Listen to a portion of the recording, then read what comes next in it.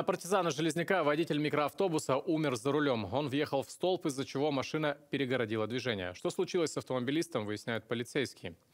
На записи с камер наблюдения видно, как Honda заезжает на электроопору и затем выкатывается на перекресток.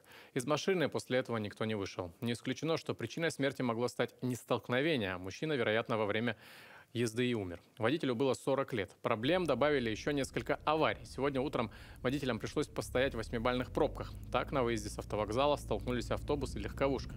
Еще одна авария, одна авария произошла на «Зените» в сторону центра.